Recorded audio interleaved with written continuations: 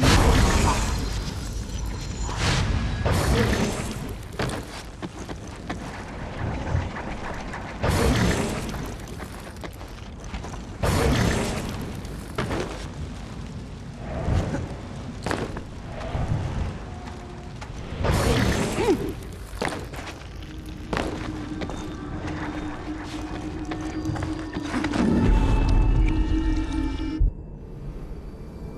The seal is gone. And something's happened to Malik. He killed that Ifrit and... Your brother did not kill Ratash. Ratash has killed your brother. What? No, that's not what happened. It is not what you saw, but it is what happened. A Jinn will not be killed by any ordinary sword. This is why I warned you not to fight Ratash. His power has simply found another body. Your brother. Before long, Ratash will control him. No, that cannot be true. It is the truth. You don't know Malik. He's stronger than you realize. He will fight that thing, and he will win. Even if that is true, your brother must still die. What? Why? If you're going to say this is some kind of punishment... Of course not. Think.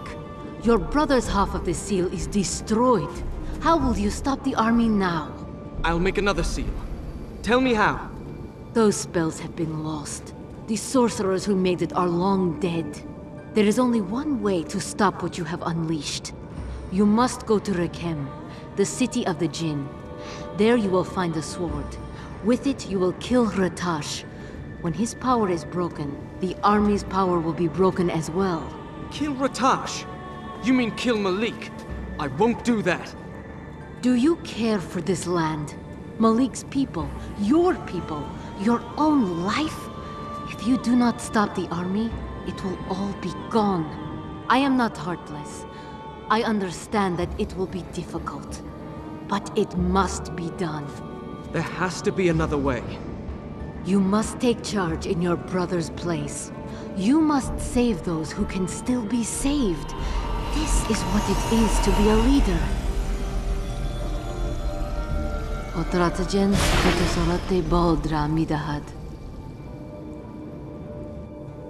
The entrance to Rekem is near King Solomon's tomb. Look for the flame that marks the tower. You will find the stairs to the city underneath.